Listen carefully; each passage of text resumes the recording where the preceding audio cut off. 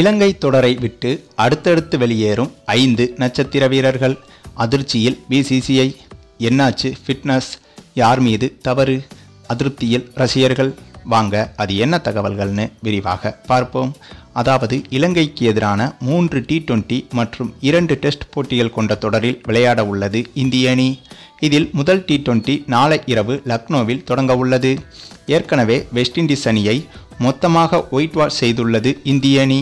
அதே ஃபார்மில் இலங்கை அணியையும் ஒயிட் வாஷ் செய்யும் முனைப்பில் இருக்கிறது இந்திய அணி.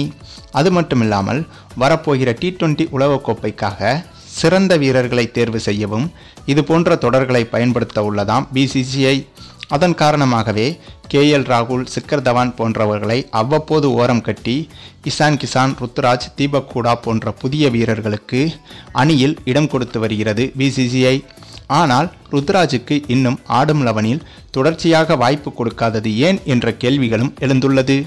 அதற்கு பதிலளிக்கும் விதமாகத்தான் இந்த இலங்கை தொடரின் ஆடும் லெவனில் முழுமையாக மூன்று டி டுவெண்டி போட்டிகளிலும் ருத்ராஜுக்கு ஆடும் லெவனில் வாய்ப்பளிக்க உள்ளதாம் இந்திய அணி.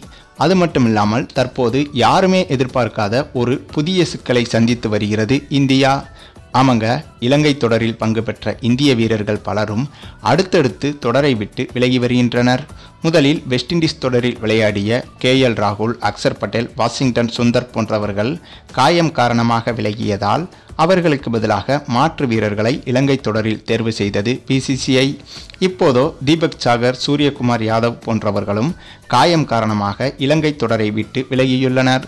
அது மட்டுமில்லாமல் ஆல்ரவுண்டரான தீபக் கூடாவுக்கும் நேற்று நடைபெற்ற வலைப்பயிற்சியில் தசைப்பிடிப்பு ஏற்பட்டதாகவும் சொல்லப்படுகிறது. ஆக மொத்தம் கிட்டத்தட்ட ஐந்து முதல் ஆறு வீரர்கள் இலங்கை தொடரில் பங்கு பெற வாய்ப்புகள் இருந்தும் காயம் காரணமாக பங்கு பெற முடியாமல் தவித்து வருகின்றனர். மேலும் சூரியகுமார் யாதவ் தீபக் சாகர் போன்ற வீரர்கள் இல்லாதது எதிரணியான இலங்கைக்கு கொஞ்சம் அட்வான்டேஜாகவே இருக்கும் என்பதும் குறிப்பிடத்தக்கது. மேலும் இவர்களுக்கான மாற்று வீரர்களாக ஹார்திக் பாண்டியா தமிழக வீரர் ஷாருக்கான் போன்றவர்கள் இந்திய அணிக்கு திரும்பலாம் என்ற தகவலும் வெளியாகி வருகிறது. சரி நீங்கள் சொல்லுங்கள் இப்படி அடுத்தடுத்து முக்கிய வீரர்கள் விலகுவதை பற்றி உங்களுடைய கருத்துக்களையும் கமெண்டில் தெரிவிங்க. மேலும் இந்த வீடியோ பிடிச்சிருந்தா லைக் பண்ணுங்கள் மற்ற அனைவருக்கும் ஷேர் பண்ணுங்கள் மறக்காமல் நம்ம சேனலை சப்ஸ்கிரைப் பண்ணுங்கள்